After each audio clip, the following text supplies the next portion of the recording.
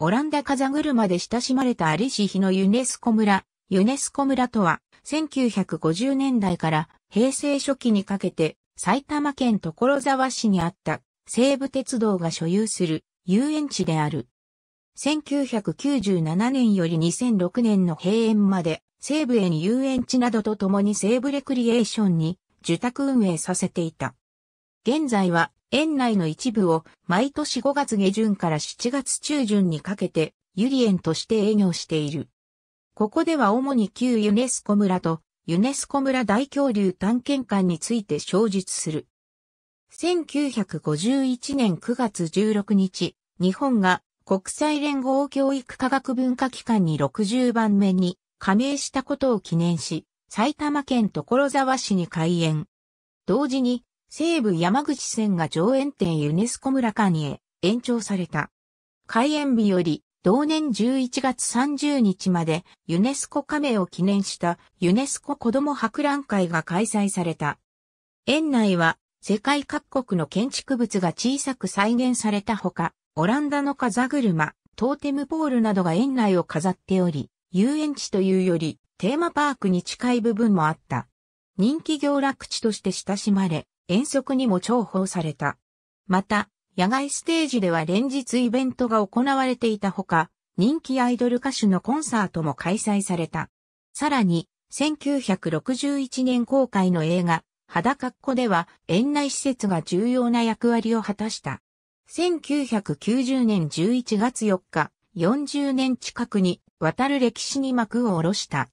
旧ユネスコ村を休園後、再開発によって恐竜をテーマにしたユネスコ村大恐竜探検館として1993年12月22日に新装開業。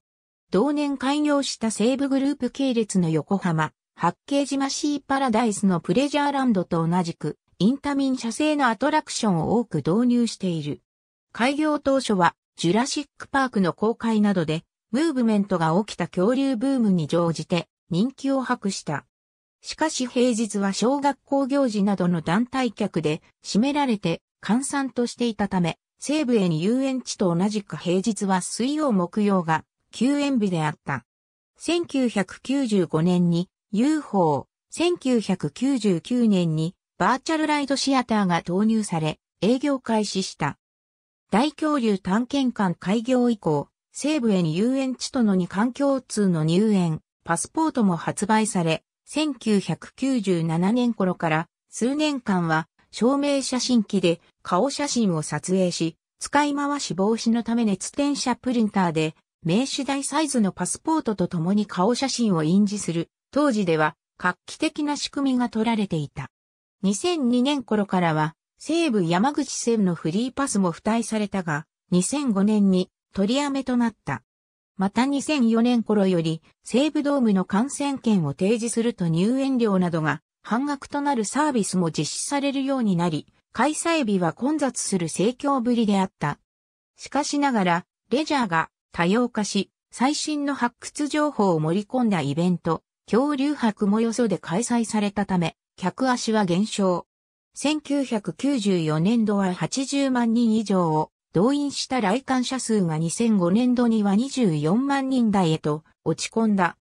この状況からユネスコ村は経営再建段階にある西部グループの整理対象となり、2006年9月30日で営業を休止した。営業再開や再開発のめどは10年を経過した2016年時点でも立っていない。大恐竜探検館の閉館後、単独営業をしているゆり園の出入り口では、恐竜像が閉園後も残っていたが、2009年シーズンに撤去された。建物そのものは2020年現在も残されている。なお、2010年11月、旧ユネスコ村一帯をはじめとする西部エニエリアのネーミングを西武鉄道が運営するコミュニティサイトにて募集したところ、社内満場一致で所沢西部アッハの森に決定した。2006年まで営業していたユネスコ村大恐竜探検館。シンボルの恐竜の像は閉鎖後も当時のまま残っていた。など、ありがとうございます。